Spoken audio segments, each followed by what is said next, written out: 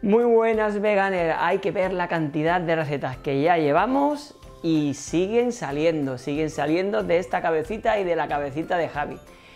Hoy os traigo, hoy os tengo preparado, yo creo que un plato genial. Vamos a hacer un ragú, algo que antes era muy difícil de hacer, pero con las carnes vegetales que tenemos ahora, yo creo que va a quedar un plato, no, creo no, ya te lo digo, va a quedar un plato delicioso. Así que sin más, comenzamos.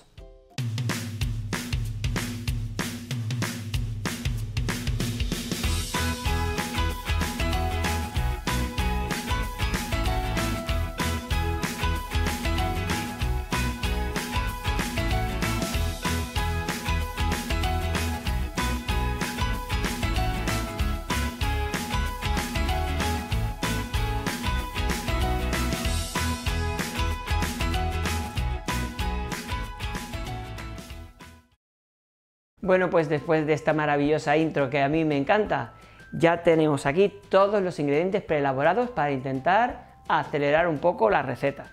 Entonces, eh, el ragú, ya sabéis, si no lo sabéis, os lo digo yo, el ragú es un estofado, básicamente eh, es de origen francés y en donde se usan carnes y, bueno, verduras y patata normalmente. Las carnes incluso pueden ser de aves, de pescado. Los ragú han variado mucho en el tiempo. Nosotros, pues como buenos veganos y como tenemos la oportunidad, vamos a usar una carne genial, una carne que estamos usando últimamente de la marca Vegesan, una carne muy parecida en textura a la carrillera y que absorbe muy muy bien los sabores. Por tanto, genial. Ahora, comenzamos con los demás ingredientes. ¿Cómo no? Esto no puede faltar en, ninguna receta. Oye, aceite de oliva virgen extra. Eso por las veces que se me olvida. Luego, vamos a hacer un refrito con una cebolla muy picadita, con ajo picado y también con tomates. ¿eh? Tomates que le he pelado la piel, que hay gente parece que no que no tiene claro no, al, tomate, normalmente si no es muy expreso la receta, tenéis que pelarlo y picarlo muy bien, ¿vale? O sea, picarlo o rayarlo, que es todavía más fácil con un rallador.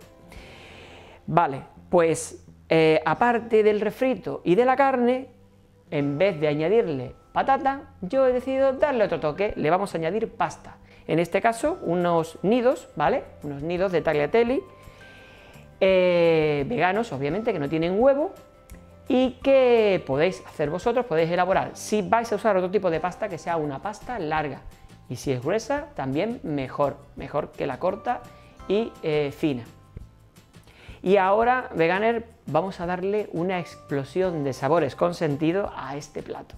Como no, vamos, mirad, vamos a empezar, porque hay bastante, ¿eh? Mirad, tenemos laurel, tenemos también canela, tenemos tomillo, ¿vale? Luego tenemos aquí en esta redecilla, que ya os lo expliqué yo en una receta, en una o en dos, no me acuerdo, todas las especias que, o todos los ingredientes que tenemos que retirar, luego tenemos que retirar porque si no son desagradables en, el plato, pues siempre eh, guardarlos en un sitio eh, donde luego los podamos retirar bien. En este caso, en esta redecilla de infusión, tengo romero, tengo café que no es soluble, puedes usar café soluble, en este caso como no es soluble, lo tengo aquí metido para luego, para que no se escape y suelte todo su aroma, y clavos, ¿vale? Ya sabéis que al final del vídeo tenéis todos los ingredientes. También le vamos a dar un brillo muy interesante con una cucharadita de eh, margarina vegetal y luego vamos a seguir potenciando. Fijaos, chocolate negro, ¿vale? Vamos a usar y para este chocolate negro le viene genial piel de naranja, una piel de naranja que ya sabéis que tenéis que intentar no arrastrar la parte blanca. ¿eh? Y para darle un toque de sabor y unirlo todo y darle un toque potentísimo de estos que dices, madre mía, qué plato, vamos a añadir vino tinto. Ya sabéis, como os dije en los consejos, que el vino tinto, no todos los vinos son veganos, así que tened cuidado y mirad la etiquetita de vegano. Así que, bueno, sal y además pimienta negra. O sea, realmente vamos a conformar aquí un plato con una cantidad de sabores que además no se riñen ninguno, sino que se dan todos la mano.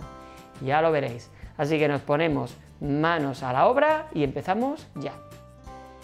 Pues lo primero, aquí tenemos un cazo ya que he puesto con agua a hervir, vamos a añadirle sal, bastante sal, ya sabéis que la pasta siempre se cuece con bastante sal, y en el momento en el que hierva, que ya ahora ha empezado a hervir, añadimos, vamos a bajar un poquito, añadimos la pasta nido, ¿vale? A mí me encanta la pasta nido, la verdad es que mm, me gusta mucho cómo queda y, y da mucho juego, va a dar mucho juego a este plato, ya lo veréis. Muy bien, pues dejamos, ya sabéis que la pasta siempre se debe añadir hirviendo. Muy bien, pues mientras se cuece la pasta, que son unos 8 minutos más o menos, pues vamos a coger una sartén y vamos a empezar con lo demás. Añadimos un chorrito de aceite de oliva virgen extra. Madre mía, qué maravilla. Y vamos a añadir, lo primero, es pochar, como siempre, la cebolla. Le damos calor ¿eh? y añadimos toda la cebolla. Cuanto más picadito tengamos la cebolla, pues el resultado va a ser mucho mejor. Siempre tenemos la posibilidad de triturarlo todo al final, eso como queráis. Voy a coger una espátula ¿eh? y vamos a añadirle también un poquito de sal. Siempre para el tema de los osmosis con el agua y la cebolla, un poquito de sal en el sofrito. Así que tenemos esto aquí, vamos a bajar un poquito la pasta, está muy fuerte, eso es, y también el refrito. Ahí está. Bueno, pues esta, esto es lo primero que tenemos que hacer. Así que vamos a dejar que se poche la, la cebolla y vamos a dejar que se cueza la, la pasta y enseguida volvemos. Perfecto, pues ya tenemos la cebolla doradita y ahora vamos a continuar. Le vamos a añadir el ajito, ¿eh? también para que se dore y mientras se me dora el ajito, un poco, ¿vale? Vamos a sacar ya la pasta que está terminada. Ya han pasado los 8 minutos y está perfecta. 8 minutos, si la quieres al dente, si la quieres un poquito más hecha, pues medio minuto más, un minuto más como mucho, pero no te lo recomiendo. Bien, pues ahora simplemente lo que hacemos es, voy aquí, lo cuelo y lo refresco. Ahora con un poquito de agua, para cortar, porque si hablo aquí no os vais a enterar. ¿eh? Y ya lo tengo aquí para cortar la cocción de, la pasta. Entonces, muy bien, muy bien. Pues ya tengo aquí también parte doradito ya el ajo, ya huele a ajo, que eso es importante en una cocina, desde huele a ajo. ¿eh? Y le añadimos el tomate rallado, tomate natural, que nosotros mismos hemos pelado y lo, añadimos también a este sofrito. Le va a dar un cuerpo muy interesante y va a ayudar mucho a los sabores y a los aromas que vienen después. Muy bien, también tengo aquí ya la carne, ¿vale? Entonces ya lo único que hay que esperar es un poquito a que se haga, se termine de hacer el sofrito lentamente. Yo os recomiendo que no le deis mucha potencia, sino que le deis 9 puntos de inducción, le deis un 5 como mucho y dejadlo que se haga poquito a poco. Como pasaba con el marmitaco, que se vaya deshaciendo poquito a poco todo lo que es esta verdura y vaya quedando como una cremita, ¿vale? Así que dejamos que se haga esto y continuamos con el vídeo. Entonces, veganers, ya se ha terminado el sofrito y estoy añadiendo todo el sofrito a un vaso largo para batirlo, ¿vale? Lo que, lo que quiero con esto es que me quede una crema fina. Oye, no pasa nada porque no lo hagáis así, ¿eh? Pero bueno, para la presentación del plato quiero que quede una salsa muy fina y muy bonita. Así que vamos a coger la batidora, cogemos el brazo y vamos a triturar. Eso es. Esto por aquí.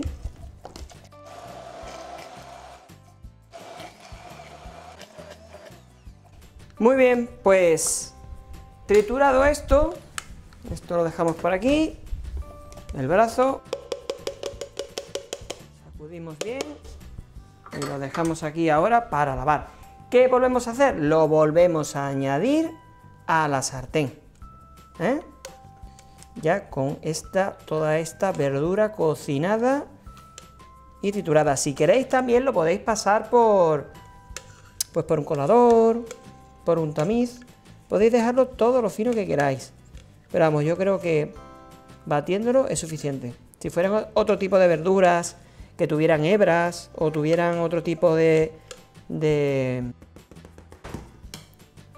de elementos que nos pueden dejar eh, residuos en la boca a la hora de, de llevártelos a, a la boca, pues entonces sí, pero en este caso no. Bien, muy bien, pues volvemos a darle fuego a esto y ya a partir de aquí em, lo que vamos a hacer es ir añadiéndole todas las especias.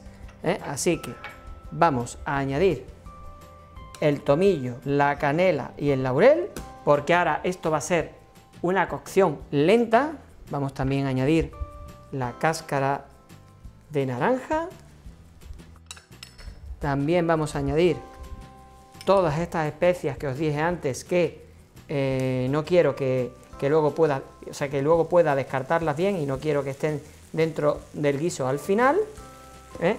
El chocolate negro, que bien, si queréis podéis fundirlo o, mm, o no os preocupéis porque esto se funde rápidamente, cuando coge temperatura se funde el chocolate, pero fijaos, ya, ya mismamente se está fundiendo el chocolate, o sea que no hay ningún problema. Y eh, luego pues vamos a añadir también, bueno, vamos a añadir también la carne. Podríamos saltear la carne, darle un toque a la carne, como otras veces he hecho, pero sinceramente como lo vamos a hacer muy lentamente, eh, no hay ningún problema. O sea, lo que quiero es que quede eh, una carne muy jugosa. Vaya olores que está soltando ahora mismo la sartén. Y por último, añadimos el vino tinto, ¿vale? que es como una taza de vino tinto, más o menos. ¿Mm? Añadimos todo esto y también le vamos a añadir un poquito de sal, porque solamente le hemos añadido un poquito de sal antes por el tema de, eh, de la cebolla, ¿eh? del sudado de la, de la cebolla. Añadimos un poquito de sal, vamos a bajarlo, lo vamos a dejar en el punto 5 en el que estaba antes y también vamos a añadirle la pimienta. Por último, solamente nos quedaría añadirle, eh, antes de añadirle la pasta, la mantequilla, ¿vale? Pero eso lo haremos después, al final, para darle el brillo final. Nos quedará una salsa muy espesita y muy rica, con unos sabores, es que está soltando unos sabores, o sea, unos olores que, que igual son en sabores, bueno, impresionante. Así que vamos a dejar que esto se haga lentamente. Oye, y cuando esté terminado, continuamos con la receta. Bien, pues ya esto yo creo que está eh, perfecto. Vamos a retirar la tapita, vamos a apagar un momentito, vamos a retirarlo del fuego, vamos a coger con una cucharita todo esto que ya no nos interesa que esté en el plato, ¿veis? Qué, es, qué cómodo es el hecho de tener esta redecilla de, para infusionar que ahí ya no tienes que estar retirando clavos, el café disuelto, eso es imposible, o sea, insoluble, no se puede, no se puede ya rescatar de aquí, entonces al final ha quedado esta cremita magnífica que luego vais a ver perfectamente en el emplatado cómo ha quedado. Oye, la pasta la podéis hacer, en vez de hacerla como la he hecho yo al principio, la podéis hacer después. Pues mira, pues bien, vale, mejor, pero no hay ningún problema, no os preocupéis. Bien, añadimos la margarina. ¿eh? Vamos a dejar que con el propio calor se integre. Esto le va a dar un brillo ¿eh? mucho más bonito todavía a la salsa. Bien, aquí, aquí se me ha escapado un poquito de piel de naranja. Los toques ácidos, normalmente este es un plato que tira a dulce. Esto ya depende un poco de cada uno. Si veis que no es suficientemente dulce, que yo creo que sí lo es, podéis añadirle una, cucharadita de azúcar. O si no os gusta tanto vino tinto, podéis echar, podéis añadir la mitad de vino tinto y la mitad de caldo de verduras, como queráis. Ahí es un poco a vuestra elección. ¿eh? Porque hay gente que no le gustan los sabores tan fuertes, teniendo en cuenta que esto, teniendo en cuenta que esto tiene una cantidad de especias muy grande veganas. Eh, ¿Qué más cositas? El dulce combina muy bien con el ácido. Si, si veis que os habéis pasado de dulce, pues unas gotitas de, ácido, de limón, de lima, le puede venir muy bien, que luego además lo vais a ver en el emplatado. ¿Eh? Y entonces, pues ya lo único que nos queda aquí, una vez integrado todo, retiro también el laurel, vamos a, agregar la pasta. Si no hubiera refrescado la pasta veganer, hubiera quedado la pasta totalmente pegada ¿eh? y no hubiera podido eh, manipularla como la estoy manipulando ahora. Por eso la pasta, a menos de que sea una receta muy concreta, siempre hay que refrescarla. Muy bien, pues nada, ahora lo único que hago aquí es integrar la pasta para que se impregne de todos los sabores. ¿Mm? Eso es. También tenéis que probar cómo está de sal. Yo ya la he rectificado, le he añadido un poquito más de sal. Esto es así, probad siempre las comidas, ¿eh? probadlas. Y si veis que hay algo que le falta, oye, pues se le añade. ¿eh? Que hay gente que es que me dice que no prueba las comidas cuando las hace. Entonces, muchachos, mm, al final está jugando a la suerte con, con el plato. El plato hay que saber controlarlo. Muy bien, pues voy a dejar esto aquí tapado unos minutitos simplemente para que coja todos eh, los aromas también, la pasta absorba también y veganes, hemos llegado pues a la hora del emplatado. Pues ya llegamos al emplatado. Oye, ¿qué nos gusta ver un emplatado, verdad? Y la imaginación que hay que echarle a esto, que muchas veces no es fácil. Estoy todavía pensando y cavilando cómo terminar el plato. bueno, pues lo primero que vamos a hacer antes de añadir eh, lo que es el ragú con la pasta, mirad, yo aquí eh, he hecho un, como el ragú, eh, aparte de verduras, lo que lleva es patata, no he querido dejar este plato sin su patata. Así que lo único que he hecho ha sido cocer eh, patata morada, ¿vale? Y he hecho un puré con ella, nada más. Entonces le vamos a poner ese poquito de puré de patata para que no se quede, que me da a mí esa cosa de que se quede sin ese puré. A ver.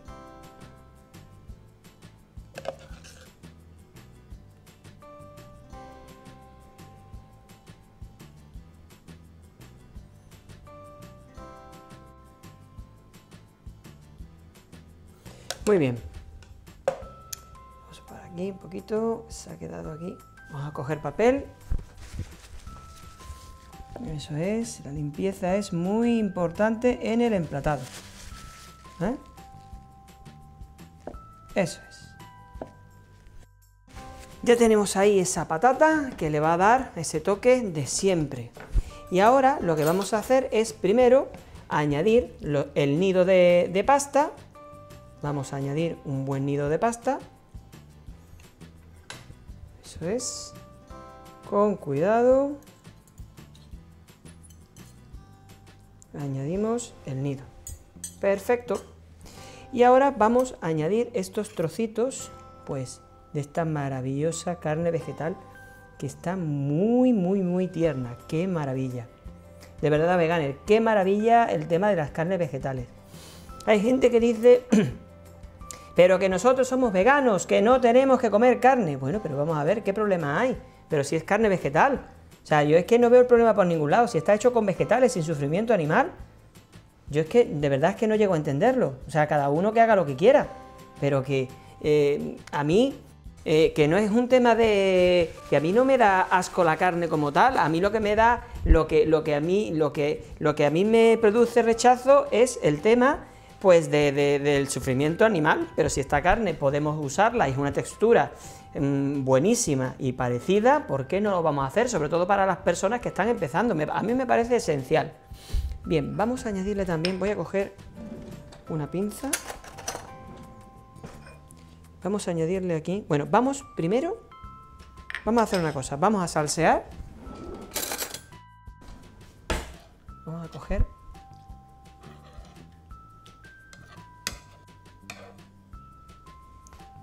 A mí me ha quedado como una salsa más espesa, pero realmente es lo que yo quiero, que quede esa salsa muy, muy espesa. Si no queréis que, si queréis que quede más líquida, oye, pues pues nada, un poquito más de caldo o que, o, o que se reduzca menos y ya está, no pasa nada. Vamos a añadirle también un poquito de verde. Vamos a ponerle aquí en, el puré de, patata ¿eh? esta hierba aromática, este cilantro que hay aquí. Y vamos a poner por aquí también porque le viene estupendamente el verde al color marrón. Eso también es un arte, ¿eh? el saber eh, combinar bien los colores. Visualmente es una maravilla. Como no tiene ningún toque picante, yo he pensado que le vendría muy bien ponerle unos rabanitos picantes y así tiene su parte crujiente. ¿eh? Tiene una parte crujiente pues que le va a dar un toque, un toque curioso. Eso es. Por aquí le ponemos otro. Y por aquí otro. Además, casa muy bien con el color de la patata. Y luego para seguir dándole un color verde, estos son, son formas de presentar, yo os, doy ideas. Tengo aquí que he hecho un simple puré, esto no es nada nuevo que, ya, que, no, que no haya hecho ya, es un simple puré ¿eh? Eh, que, es caldado y que eh, tiene un poquito de lima para darle un realzar el sabor del guisante que le viene muy bien y le vamos a poner estas bolitas verdes esta pasta que, va a contrastar estupendamente con este guiso este ragú vegano con ese toque maravilloso Fijaos qué maravilla estamos haciendo con unos ingredientes tan, tan sencillos. A ver, este por aquí. Eso es. ¿Ah? Y bueno, ya por último, bueno, espérate, porque vamos a hacer, vamos a decorar también. Vamos a darle con un poquito, esto ya es opcional. Esto ya es opcional. ¿eh? Podemos añadirle muy poco veganer porque si no la liamos, ¿eh? un poquito de aceite de trufa, unas gotas, ¿vale? Para que le dé otro toque. Eso es ya si vosotros queréis, si tenéis este tipo de aceite, sabéis que el aceite de trufa también tiene que ser vegano. Vamos a darle un poquito de cebollino también a toda esta parte. Vamos a darle color, por el color verde también y el fresco que da el cebollino. Y por último, vamos a darle unos distintos toques con unas flores deshidratadas que yo creo que son magníficas. ¿Mm?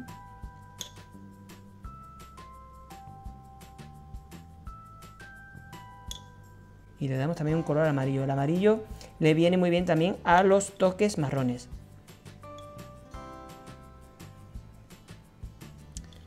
Qué bonito está quedando este plato, madre mía de mi vida, qué maravilla. ¿eh?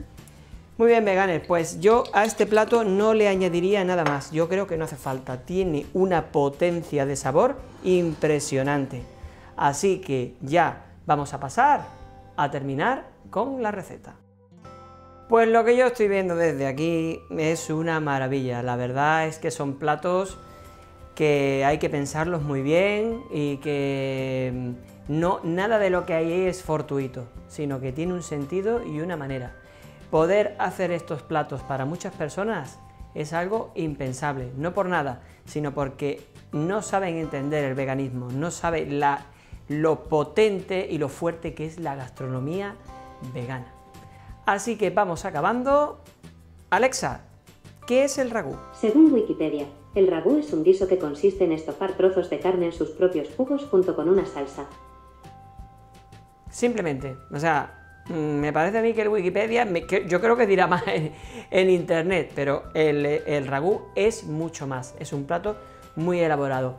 Y sí es verdad que yo quería decir una cosa. Eh, hay muchos distintos tipos de canales veganos y la verdad es que eh, queremos dar las gracias por este año que hemos cumplido ya, eh, porque bueno, estamos súper contentos, nos ve gente de todo el mundo, de todas las nacionalidades. Es impresionante la cantidad de mensajes que nos llegan y nos llenan de alegría eh, el ver que podemos contribuir con la gastronomía vegana.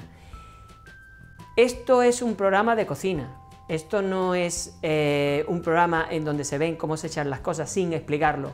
Aquí yo, yo y, mi compañero Javi os explicamos cómo se hacen las cosas, por qué se hacen las cosas y si el programa en vez de durar 10 eh, minutos dura 20 o 25 minutos, tiene un sentido.